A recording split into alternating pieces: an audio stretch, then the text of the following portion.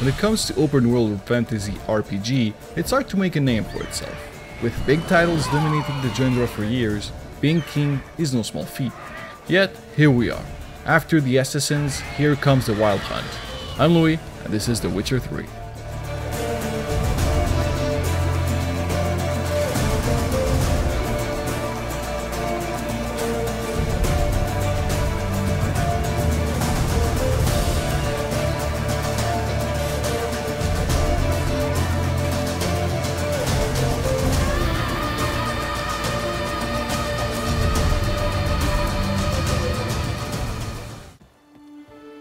Set in a fictional yet brutal medieval era, the game puts you in the skin of Geralt, a precise and sharp professional called a Witcher.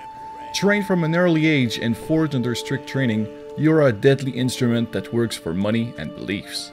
The main protagonist is easy to like with color talents and clever quotes. He is dared by few and hated by many.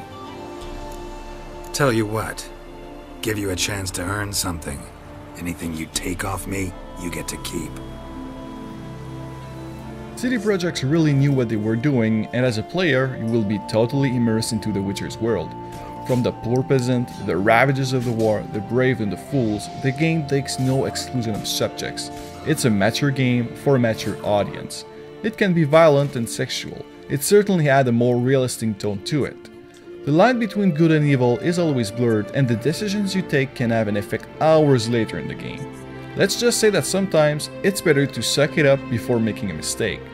The characters you meet are very interesting and varied. It's a bit disappointing that you can't talk to everybody, but the one that which you can are interesting. I have never found myself skip throughout a dialogue, even if it was unnecessary to complete a quest. The dialogues are simply well written and will keep you hooked. All in all, be prepared to put your social interactions to a treat. It's strangely very human and it's very well delivered. At this point, doubt I'll ever marry. You keep the coin from Mandy, her wedding. Raise a toast to my health then. Thank you, Master Witcher. Them's warm words. You've a good heart. But I can't let you go empty-handed. Take this, at least. For luck. The game offers a lot of features. The map is massive, yet accessible. You won't feel overwhelmed and completing it is a demanding task. Geralt has many tools to his disposal. Potions, swords, crossbows, bombs, armor and magic will help you slay your enemies and earn your coins. All can be crafted and improved via various ways. It can be a bit too much at first as the training is minimal to say the least. After a few hours though, you will get more comfortable with the things you want to loot and discard for future crafting and brewing. You're also accompanied with your horse called Roach. Its design isn't without flaws, but it's certainly a good way to travel efficiently and add new mechanics to the game. The combat is well made with different type of attacks and parry available to you. You have to be focused and careful as you can't take that many hits. Large packs are to be avoided as you will be overwhelmed quickly. The animation are great, but it's not as fast and responsive as Dark Souls. It has to be said that there is a little learning curve.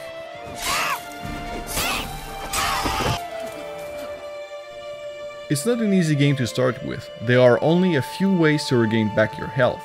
I would still advise to play the game on hard, as you will put more emphasis on your strategy and really use all the features available to you to overcome the challenges. There is the new addition of to the series, Gwent, a card game. Really? Yep.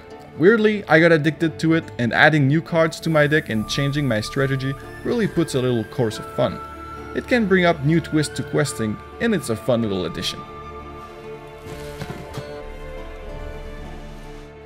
Quests are the main purpose here. There are a lot and various events going on in the world of The Witcher. Completing them is always interesting to say the least. You're never asked to go on boring excavation or collecting mushrooms for hours. They are well proportioned and you always can investigate more to have a more specific views on the task to come. Sometimes the truth is only revealed at the very end and it makes the overall system well designed to keep you hooked. I have to admit that there is some faulty quest. Sometimes the NPC would react in a way that it wasn't supposed to be, and I failed a few quests after a few seconds of starting it. It's annoying, but only occurred a few times. It is essential that you get out of the main role because half of the game content is you discovering situation and events and reacting according to them. Actually, I see a few monsters. Where? Drabby, damn it, dumber than a hunk of larg you are. He means us. We're common folk. You're the mutant, the poxy freak. Get him, lads! By now, you probably can see how gorgeous The Witcher 3 is. The animation are smooth and realistic, the lightning effects are breathtaking, and the textures are well detailed. The environment is lush and really puts you in a pre-modern tone. Perhaps its best aspects is its design. The muddy roads, the dirty people, the architectures, the various effects, the armors and monsters really set an immersion that feels unique and colored that only The Witcher seems to be able to pull off. Unfortunately, it has to be said that there are some graphical infidelity. Popping models, blank textures can be annoying, but it's nowhere green-breaking. It's good to know that CD Projekt are still releasing patches to fix it all. The sound design is beautiful. From the voice acting, the various environment sounds, the music, be ready to put your sound to the max and really be immersed into its beautiful notes. Make yourself a treat because it's a color palette that will make your ears happy. I'm giving this game a 9.4 out of 10. In the end, The Witcher 3 isn't a perfect game, but it really might be one of the greatest.